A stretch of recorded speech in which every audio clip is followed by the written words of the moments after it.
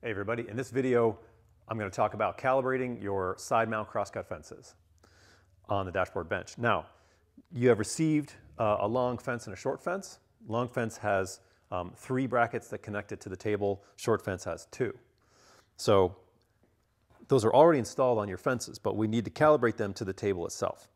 So you have some hardware that you've received also, and all, you just need to put the T-bolt in through the back of the fence bracket, put a washer on, and put your knob on there. And leave that loose. I've already installed the uh, long fence uh, next to the guide rail bracket. It doesn't need to, to slam up against there. Um, anywhere nearby is fine for a start.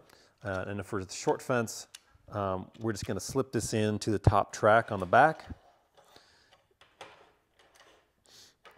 And you don't want to come up in the path of the cut, obviously, because you'll run into it. Um, but it's safe to put it, you know, roughly in line with the uh, edge of the cut strip here. And um, you'll see that the other bracket is already positioned to essentially run out to the end of the track on the table. Um, that's a good place to start. So let's just tighten those in place.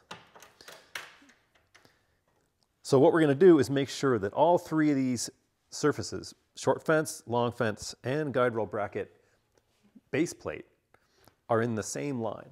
Because the base plate has the, what we call the raised position, usable only on the Dash-Board table, where it becomes part of the fence to support shorter work pieces closer to the line of the cut. So they won't pivot because they are backed up by this.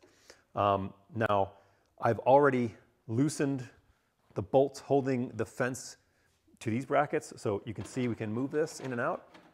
Okay, so I'm gonna do the same thing on the short fence. And I've got a 530 seconds wrench. I like to use a T-handle. It just it's a lot, it's a quicker and easier. So just loosen those like so. Now, take something convenient and straight, and this is a 55 inch guide rail.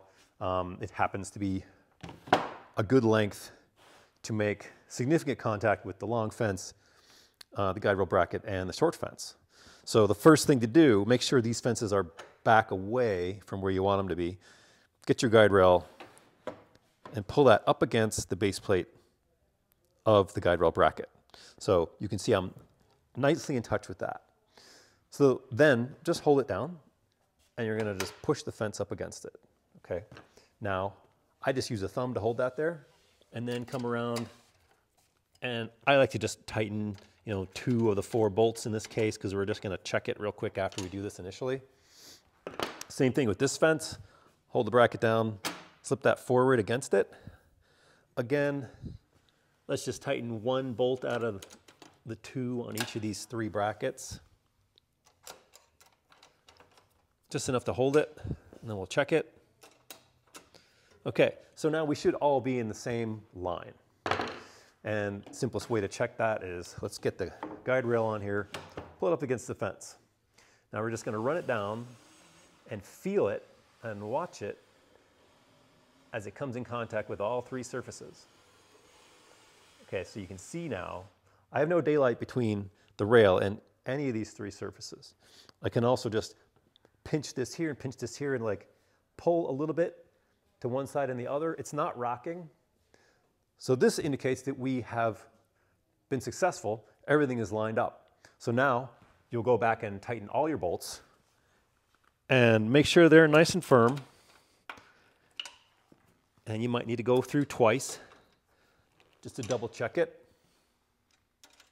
Make sure everybody's nice and um, solidly connected. Now, once you've done this, that's it basically forever, unless you, you know, throw these down the stairs or they fly out of a moving vehicle. Um, these are gonna be set forever with your bench. So that's one time that you need to calibrate your fences. And thanks for watching.